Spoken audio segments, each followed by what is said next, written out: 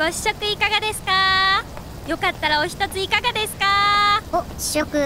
あお兄さんよかったらいかがですか？買わねえけどいい？全然いいですよ。いいんすね。何の試食？私ダイエットと料理が趣味なんでヘルシーなレシピをいくつか紹介してます。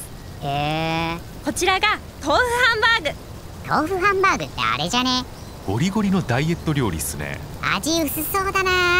そうなんですそんな方のためにこちらのマヨネーズ。え？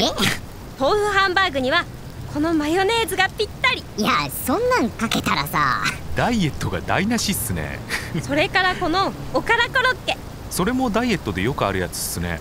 おからコロッケにも絶対マヨネーズがおすすめ。いやいやいや。おめえダイエットしてえのかしたくねえのかどっちなんだよ。うーんダイエットもしたいし美味しいものも食べたいしぶっちゃけどっちもなんですよね。いやわがまま。